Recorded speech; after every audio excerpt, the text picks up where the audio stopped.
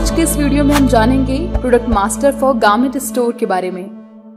Retailers और wholesalers के लिए बना रिटेल ग्राफ सॉफ्टवेयर सभी क्लोथिंग गार्मेंट और टेक्सटाइल बिज़नेस स्टोर के लिए सोल्यूशन प्रोवाइड करता है। एक तरफ़ ये इन्वेंट्री को बेस्ट वे में मैनेज करता है और वहीं दूसरी ओर लॉजिस्टिक के साथ साथ परचेज प्रोसेस को भी इजी बनाता है। कह सकते हैं कि ये स्टोर मैनेजमेंट प्रोसेस में एफिशिएंसी लाता है। रिटेल ग्राफ में प्रोडक्ट्स को मैनेज करना बेहद इजी है। सिर्फ़ कुछ स्टेप्स के ज़रिए हम प्रोडक्ट्स को ऐड कर सकते हैं। ये ह्यूज प्रोडक्ट नंबर्स को भी सपोर्ट करता है। तो चलिए जानते हैं प्रोडक्ट मास्टर के बारे में। सबसे पहले रिटेल ग्राफ सॉफ्टवेयर में मास्टर्स मेनू चूज़ करेंगे। यहाँ इन्वेंट्री ऑप्शन से प्रोडक्ट को सिलेक्ट करेंगे। इसके लिए शॉर्टकट कीज कंट्रोल F1 भी प्रेस कर सकते हैं। यहाँ गारमेंट की लिस्टिंग शो होगी और साथ ही उनकी क्वांटिटी भी यहाँ चेक कर सकते हैं।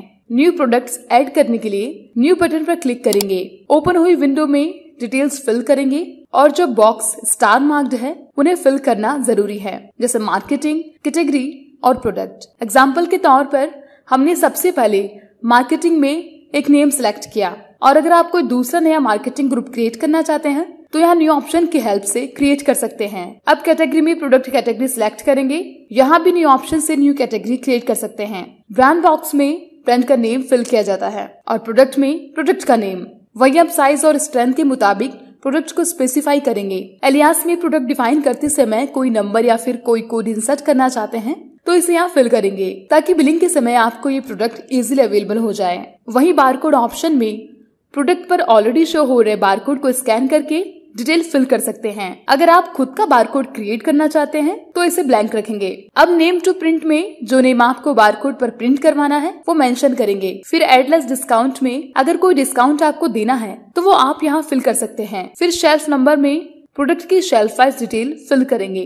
वही स्टॉक लोकेशन में आपके बिज़नेस की अगर कोई एक से ज़्यादा लोकेशन है तो वो यहाँ सिलेक्ट कर सकते हैं। और इसी के साथ, एट्रीब्यूट में अगर आपको कोई इस प्रोडक्ट की एडिशनल इन्फॉर्मेशन देनी है तो वो आप यहाँ दे सकते हैं। एच एस एन कोड में पर्टिकुलर प्रोडक्ट का H S N code select करेंगे। आपको बता दें कि एच एस एन कोड को इनवॉइस में मेंशन करना कंपलसरी है। वहीं एच एस एन कोड के बारे में डिटेल में जानने के लिए आप हमारा पहले से अपलोडेड वीडियो भी देख सकते हैं। इसी तरह से sales tax purchase tax select करेंगे। अब मिनिमम मैक्सिमम डेज़ और मिनिमम मैक्सिमम स्टॉक मेंशन करेंगे जिसके बेसिस पर प्री ऑर्डर जनरेट कर सकते हैं। अब बिलिंग यूनिट में प्रोडक्ट यूनिट फिल करेंगे कि एक पैकेज में पीस की क्वांटिटी कितनी है।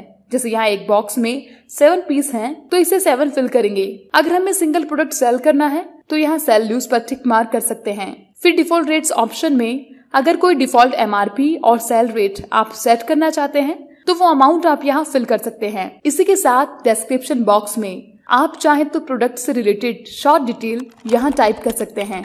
अब अप्लाई ऑन लॉट सेक्शन में साइज़ ऑप्शन को चेक मार्क करेंगे और इसी के साथ ही कलर ऑप्शन को चेक मार्क करने से प्रोडक्ट परचेज करते समय कलर चूज़ किया जा सकता है। वहीं प्रिंट बारकोड ऑप्शन से बारकोड का प्रिंट आउट दे सकते हैं। अब लॉट डिटेल्स ऑप्शन से जब भी लॉट परचेज करेंगे तो स्लॉट की एंट्री चेक कर सकते हैं। इमेज ऑप्शन से प्रोडक्ट इमेज भी अपलोड की जा सकती है।